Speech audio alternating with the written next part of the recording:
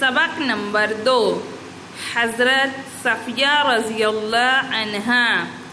हज़रत सफ़िया, हमारे पैगंबर हज़रत मोहम्मद सल्लल्लाहु अलैहि वसल्लम की बीवी थी।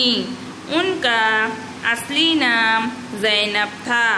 वो अरब के एक मशहूर कबीले के सरदार की बेटी थी। उनकी वालदा का कबीला भी अरब में बड़ा मुमताज़ समझा जाता था। अरब का मशहूर शहर खैबर उनका वतन था। उस शहर के किले के करीब मुसलमानों और खैबर वालों के दरमियान जंग हुई। लड़ाई में मुसलमानों को फतेह हासिल हुई और दुश्मनों के कई लोग गिरफ़्तार हुए। हज़रत सफ़िया भी उन जंगी कैदियों में शामिल थीं। उन्हें हुजूर सल्लल्लाहु अलैहि वसल्लम के सामने पेश किया गया तो आप सल्लल्लाहु अलैहि वसल्लम ने उन्हें आज़ाद कर दिया।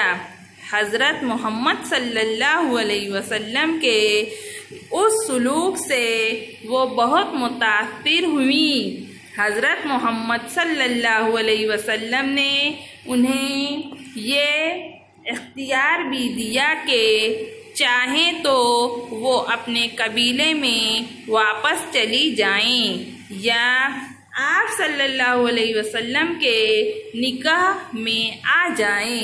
हज़रत सफ़िया ने हुजूर सल्लल्लाहु अलैहि वसल्लम की बीवी बनना पसंद किया और रसूल अकरम सल्लल्लाहु अलैहि वसल्लम ने उनसे निकाह कर लिया। रहम दिली और सखावत हज़रत सफ़िया की अहम खूबियाँ थी। जब वो हुजूर सल्लल्लाहु अलैहि वसल्लम के साथ मदीना तशरीफ़ लाई तो प्यारे रसूल की। चहती बेटी हज़रत फ़ातिमा रज़ी अल्लाह उनसे मिलने आई।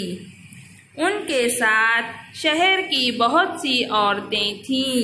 हज़रत सफ़िया ने उस वक्त अपने सोने के झुमके उतार कर हज़रत फ़ातिमा रज़ी अल्लाह को दे दिए। उन्होंने साथ आई हुई औरतों को भी कोई ना कोई जेवर तोहफे में दिया। हज़रत सफ़िया बहुत बाहिम्मत और नहायत अक्लमंद खातून थीं। वो सब्र और बर्दाश्त जैसी खूबियों की मालिक थी। दूसरों के कसूर माफ़ करने में वो ज़ाती नुकसान की कभी परवाह नहीं करती थी।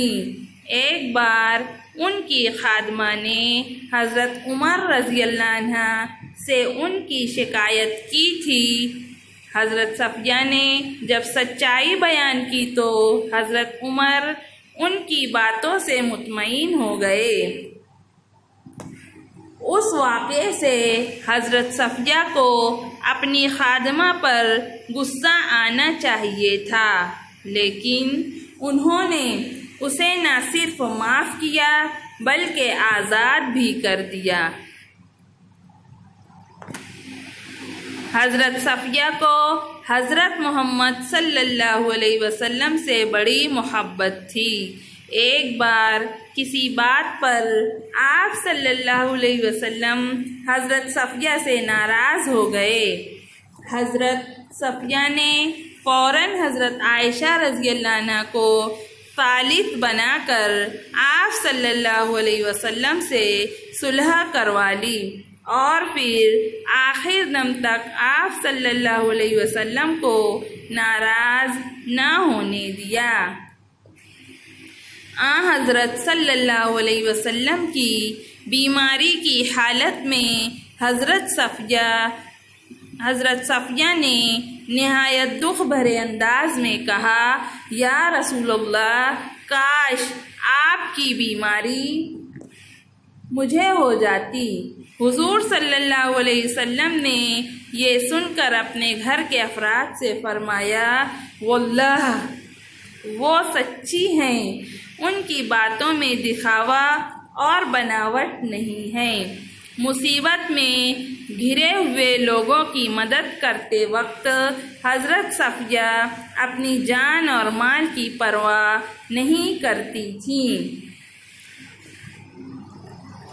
एक बार हज़रत उस्मान रज़ी के घर को दुश्मनों ने घेर कर उनका खाना पानी बंद कर दिया था। हज़रत सफ़िया अपने खच्चर पर सवार होकर हज़रत उस्मान की मदद को पहुँची। लेकिन दुश्मनों ने उन्हें मकान में दाखिल होने न दिया। मजबूरन वो घर लौट आई और हज़रत हसन रज़ी अल्लाह के ज़रिए हज़रत उस्मान को खाना पानी पहुँचाने का इंतज़ाम किया।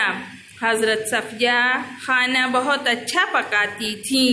वो अक्सर अपने हाथ से पकाया हुआ खाना रसूल अकरम सल्लल्लाहु अलैहि वसल्लम के रिश्तेदारों के यहाँ भेजा करती।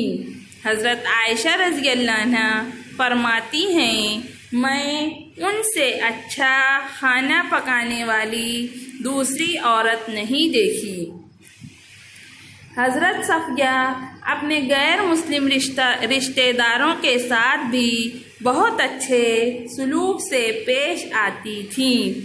हज़रत सफ़िया ने इंतकाल से पहले अपना मकान अल्लाह की राह में वक्फ कर दिया था और अपने पास के एक लाख दिरहम अपने भांजे को देने की वसीयत की थी।